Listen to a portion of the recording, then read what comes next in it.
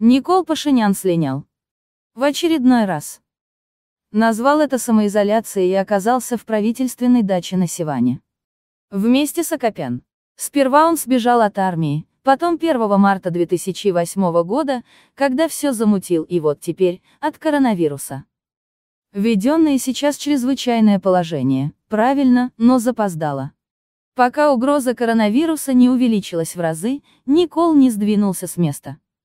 Никол самоизолировался от коронавируса. Сначала он заявил в духе храброго армянина, мол, щей он пес, этот коронавирус, чтобы нам помешать, но сейчас испугался, подобно собаке, и самоизолировался. Цитата Никол Пашиняна. «Армения мой очаг, народ, моя семья». Пашинян слинял. Теперь его очагом является дача на Сиване. А народ больше не его семья. Теперь он сваливает все на тот же народ, который облапошенный Кочеряном, Саркисьяном, кричал в свое время, Миацум. Кстати, в плане драпания у Никола ничего не изменилось. В молодости он слинял от армии. Он подвел людей под монастырь и ретировался, также 1 марта 2008 года, оставив за собой 10 жертв и сотни раненых. Ретировавшись, Никола отправил верящим ему по госам очередной сердечный привет.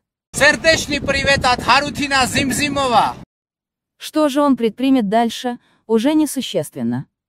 Он доказал, что подвергает людей, тех, кто в очередной раз поверил сказкам своих правителей, угрозе, избегает. Եւ հանուն սեփական շահի մարդկանց վտանգի ենթարկեց։ Նախ եւ հանուն սեփական շահի մարդկանց վտանգի ենթարկեց։ Նախ եւ հանուն սեփական շահի մարդկանց վտանգի ենթարկեց։ Նախաձեռնեց ապորինի հանրակրվե եւ քարոզ։ Սա վիրուս է, գրիպի նման վիրուս է։ Ոչ մեկ չի ասում, այդ վիրուսը հաճելի է, բայց ավելորդ խոճապ պետք չտարածել։ Чья собака была этот коронавирус?